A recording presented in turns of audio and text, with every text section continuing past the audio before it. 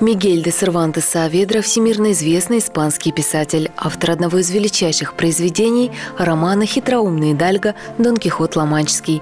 Именно о нем нам расскажет педагог Центра внешкольной работы Вячеслав Лопашов. Блаженны времена, и блаженен тот век, который древние называли золотым. И не потому, чтобы золото в наш железный век, представляющий собой такую огромную ценность, в ту счастливую пору доставалось даром, а потому – что жившие тогда люди не знали двух слов – «твое» и «мое». Все благословенные времена все было общее.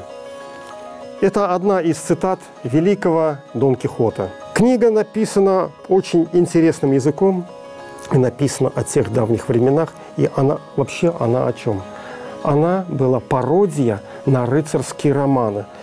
Но пародии не получилось. Получилось великолепное издание – Получилась великолепная книга, которая популярна и имеет актуальность и сегодня, в наше время. Каждая цитата из этой книги – это хотя она написана в 500-х годах, в 1500-х годах. Представляете, только что закончилась Испанская инквизиция, и она актуальна сейчас. Очень много было споров, а вообще Сервантес описал умалишенного, юродивого или философа.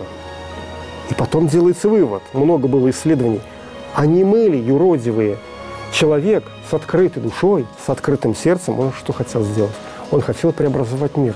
Он хотел сделать мир лучше. Он хотел посвятить свои подвиги, ну, естественно, как всякий рыцарь, великой э, деве, которая будет ну, окрылять его своим вот нахождением, что он все подвиги посвящал э, своей сеньоре, он ее назвал Дульсинея Табоская.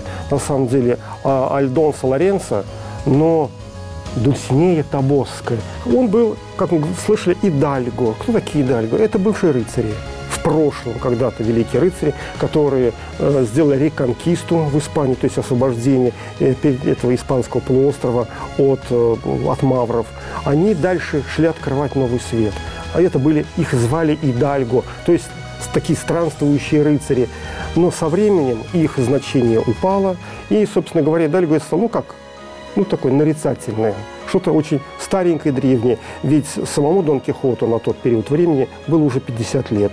Это был сухопарый старичок, немножко своеобразный в своем вот таком в своем понимании. Но ведь подвиги, которые он делал, казалось бы, для себя, мы их сейчас можем рассматривать с другой точки зрения. Понимаете, война с ветряными мельницами, самый знаменитый да, эпизод. Вот книгу могут не читать, но о, битва с ветряными мельницами, это мы знаем, что это такое. Это когда он увидел ветряную мельницу, помчался на нее. Это огромный великан машет своим там мечом. А что на самом деле-то? Да маленький человек, маленький, пытается бороться с государственной системой. Это, это же была юморная книга-то ведь, да? Мы не будем это забывать, что это, во-первых, комедия того времени. И каждый раз после всякого его подвига его били, то есть он упал с этой ветряной мельницы, разбился очень сильно, Санчо Панса его выхаживал.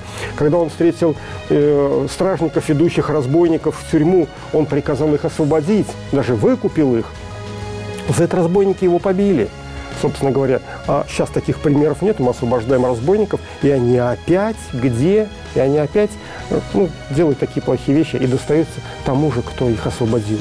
Все события, которые происходили, они интересны сейчас.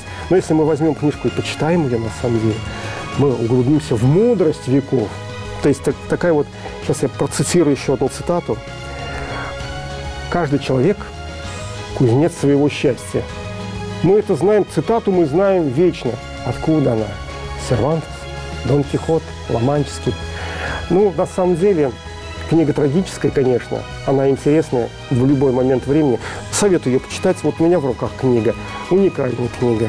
Это подарили ее моему папе в 1959 году.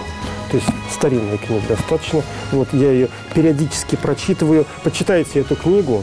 Эта книга о нас самих. Мигель Сервантес. Дон Кихот.